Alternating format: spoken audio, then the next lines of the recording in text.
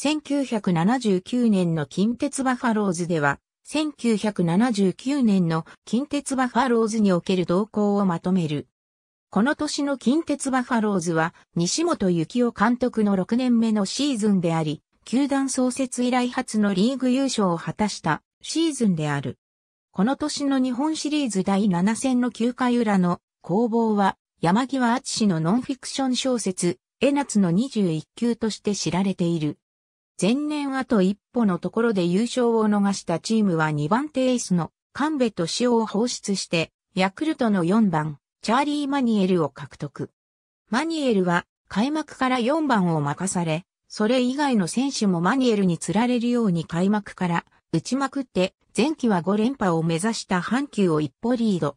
しかし、6月9日のロッテ戦で、マニエルが、八木沢荘6から5に支給を受け、一時離脱する、アクシデント。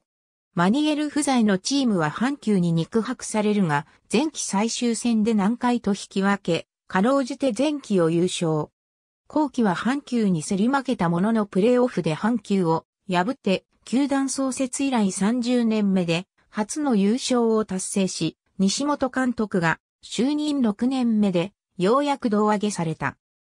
優勝の原動力となった打撃陣は、マニエルや前年首位打者の佐々木京介、平野光康などのいて前打線が打ちまくり、また、投手陣も不動のエース、鈴木啓治や井本隆、村田辰巳が先発陣の一角を占め、抑えには山口哲司が控えるなど、チーム防御率も3.70でリーグ1位だった。